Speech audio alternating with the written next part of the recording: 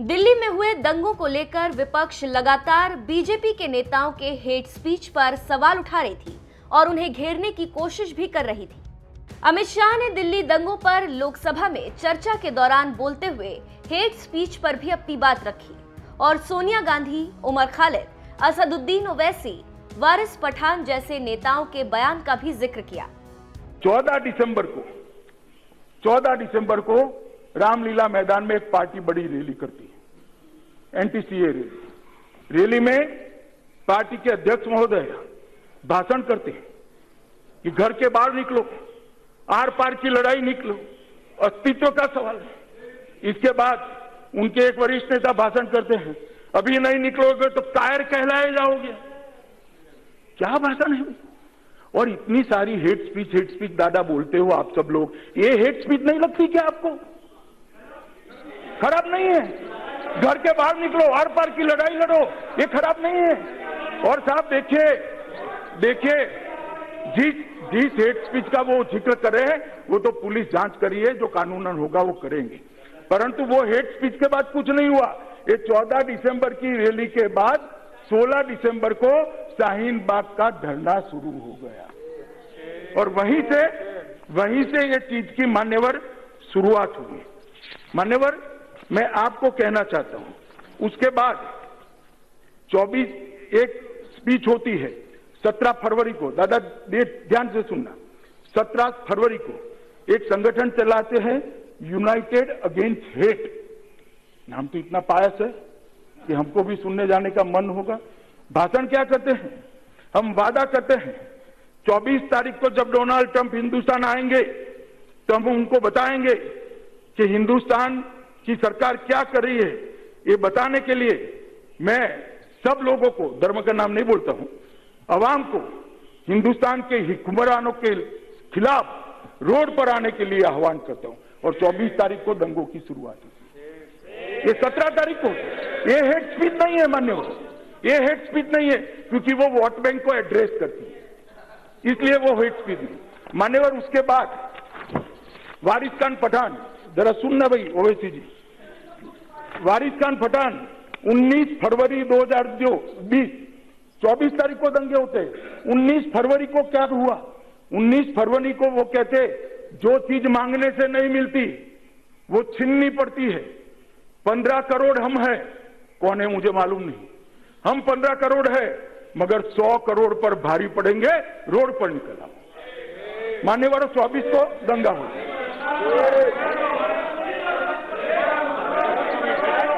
सुनिए ना सुनिए ना सुनिए ना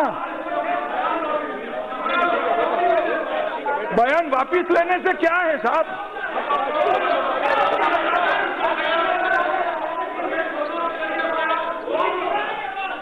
एक एक एक सेकंड बैठ जाइए बैठ जाइए. मान्यवर, बयान वापिस लेने से नहीं होता। सोशल मीडिया के जमाने में वायरल होने से हेट स्पीच अपना असर दिखाती है। 19 फरवरी को 19 फरवरी को ये बयान आया 24 को दंगे होते। अमित शाह ने देश को यह भी बताया कि दिल्ली के दंगे प्रायोजित थे और यूपी से आए लोगों ने दिल्ली को जलाया।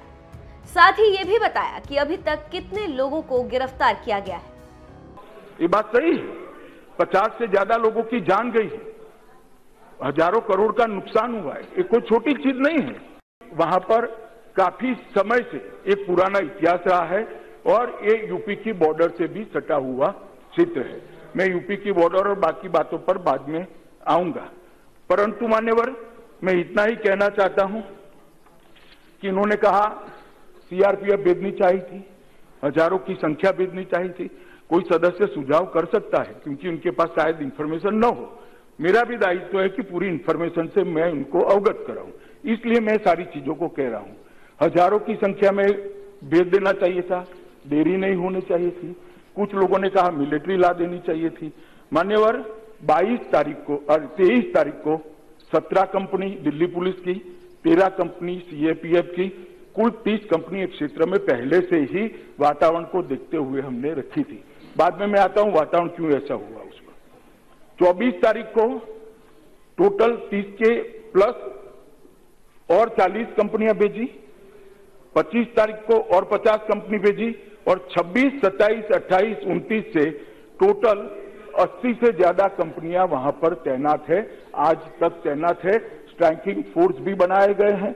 व्रज साधन के भी स्ट्राइकिंग फोर्स बनाए गए हैं। वाटर कैनन के भी स्ट्राइकिंग फोर्स बनाए गए हैं और मुस्तैदी से गुनहगारों को पकड़ने की भी व्यवस्था शुरू कर दी गई है।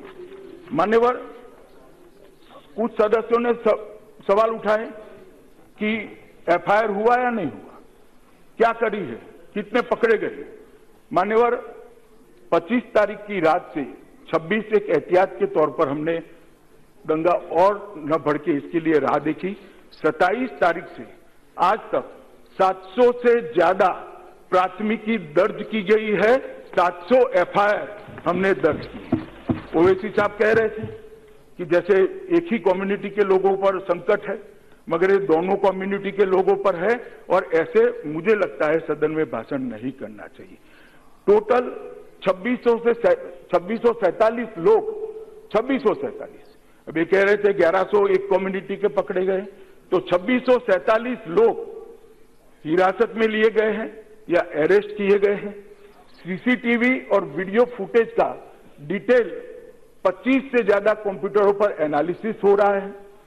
हमने एडवर्टाइज देकर समग्र दिल्ली की जनता से, समग्र मीडिया जनों से डिटेल मांगा है कि भाई आपके पास कोई भी फुटेज हो और कोई भी चीज़ हो तो आप कृपया इस ईमेल एड्रेस पर, इस व्हाट्सएप नंबर पर भेजिए और मुझे कहते हुए आनंद है कि दिल्ली की जनता ने हज़ारों की संख्या में वीडियो आइदर और साइड से दिल्ली पुलिस को भेजे हैं और अंकित शर्मा का खून का भेद भी, मुझे आशा है, वो ही वीडियो में से बाहर आने वाला है मान्यवर, जो वीडियो किसी नागरिक ने देखा है।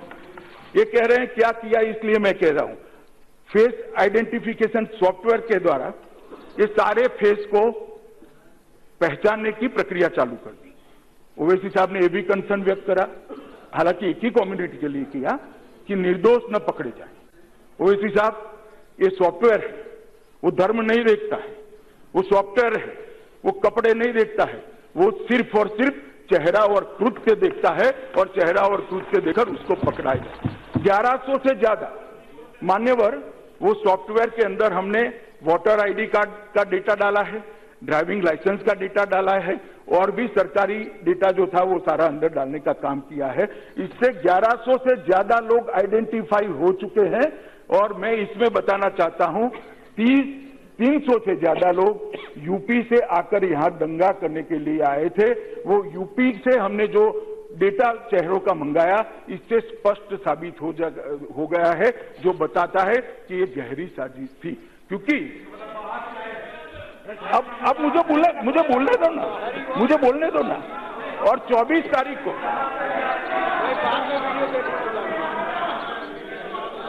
मान्यवर 24 तारीख की रात को 24 तारीख की रात को 10 बजे यूपी की बॉर्डर सील कर दी गई थी। सबसे पहला काम यूपी की बॉर्डर सील करने का करा था। उसके बाद भी 300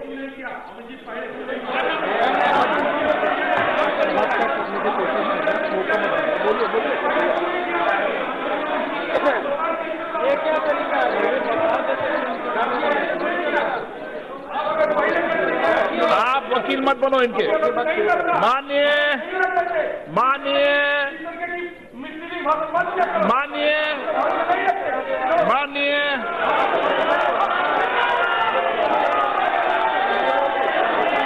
मानिए सदन में सुनकर जाओ पूरी बात।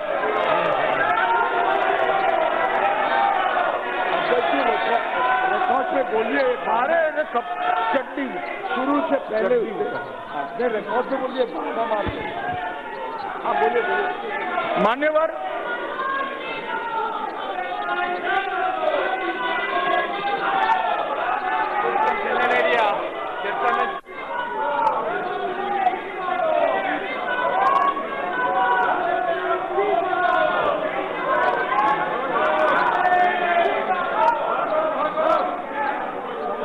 ने नहीं दिया they did not allow the House to function on the same issue. And now Honorable Home Minister is replying, they are walking out, they do not want to listen because they do not have the courage to listen what is the fact and how it was controlled. This is the hypocrisy of the Congress party. मैं माननीय सदस्य आग्रह करूँगा कि आप जिस विषय पर चर्चा मांग रहे थे उसमें माननीय गृह मंत्री जवाब दे रहे हैं आप सदन में पूरी बात को सुनकर जाएँ माननीय गृह मंत्री जी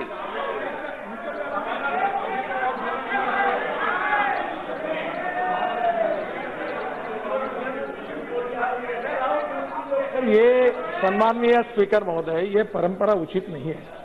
इतने संवेदनशील विषय पर चर्चा मांगना, चर्चा के समय अपने मुद्दों को ठीक प्रकार से कहते हुए जो जो सरकार को कोसना है, वो सब बातें कहना, वो उनका अधिकार है।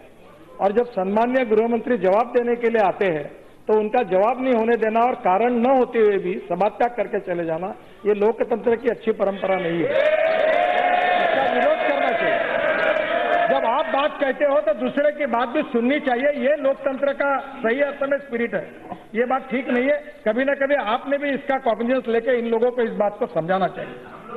हाँ मैं बोल रहा हूँ दादा, मैं बोल रहा हूँ। मान्यवर, मैंने कहा, फेस आइडेंटिफिकेशन के सॉफ्टवेयर के माध्यम से हमने 1100 से ज़्यादा लोगों का फेस आइडेंटिफाई कर दिया है। उनकी पहचान कर ली गई है। 40 टीमें बनाई हैं। 40 टीमें जो इनको अरेस्ट करने की प्रक्रिया में आज दिन रात लगी है मान्यवर। इसलिए मैं इस सदन के माध्यम से दिल्ली की जनता और देश की जनता को आश्वस्त करना चाहता हूँ कि नरेंद्र मोदी सरकार आइदर और साइड से किसी भी व्यक्ति को नहीं बख्शेगी जिसका इस दंगों के अंदर रोल। और साइंटिफिक एविडेंस के आधार पर हम एक पूरी कार्यवाही कर रहे हैं। साक्ष्यों के बयान, साक्ष्यों के बयान दर्ज किए जा रहे हैं। बयान भी वीडियोग्राफी के सामने दर्ज कर रहे हैं। पूरी चिंता हम कर रहे हैं कि किसी निर्दोष को कहीं पर भी कोई तकलीफ़ न हो।